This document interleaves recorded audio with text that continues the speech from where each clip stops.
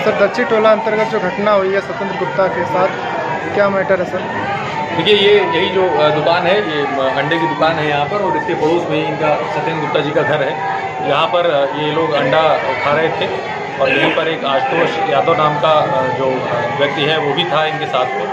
किसी बात को किसी व्यक्ति पर कमेंट किए जाने को लेकर इनके बीच में हाथापाई हुई। उसके बाद आशुतोष यादव ने इसमें अपनी बाइक से चाकू निकाल कर इनके मार दिया। इन्हें तत्काल अस्पताल पहुँचाया गया, जहाँ इनकी मृत्यु की सूचना मिली है। इसमें जिनकी डेथ हुई है, उनके चचेरे भाई भी मौके पर मौजूद हैं। उनके द्वारा पूरी घटना बता दी गई है और शव को हॉस्पिटल भेज दिया गया है। आवश्यक विधि कार्रवाई भी की जा रही है और एफ़ लिखाकर जो भी सख्त से सख्त विधि कार्रवाई है, वो इसमें की जाएगी।